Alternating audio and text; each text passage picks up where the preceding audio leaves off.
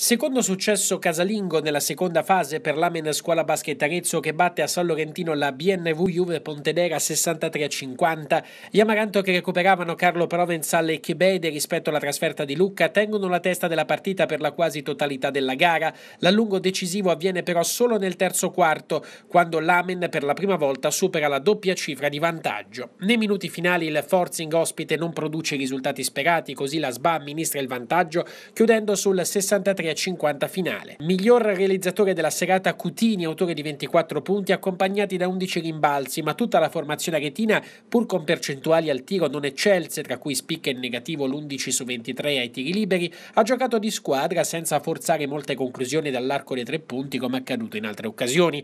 Unica nota negativa della serata, l'infortunio al ginocchio di Castellucci nel finale, che dovrà essere valutato nei prossimi giorni.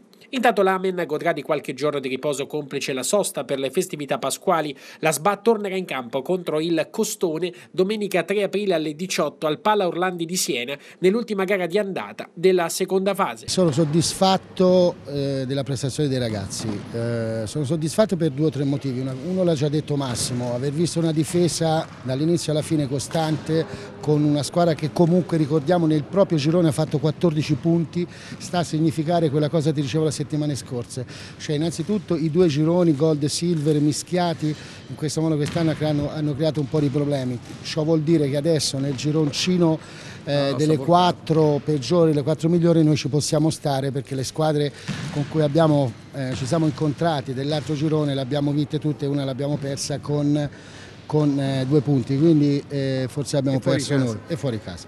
Ma eh, sono soddisfatto al di là della difesa, sono soddisfatto per il cambio del gioco che abbiamo fatto, perché abbiamo finalmente eh, sfruttato gli uomini forti che abbiamo come Cutini sotto, sotto, canestro, quindi sono arrivati, basta andare a vedere i scout, sono arrivati più palloni all'interno dell'area che tiri da fuori, cosa che per noi il tiro da fuori sembra che sia un giochino.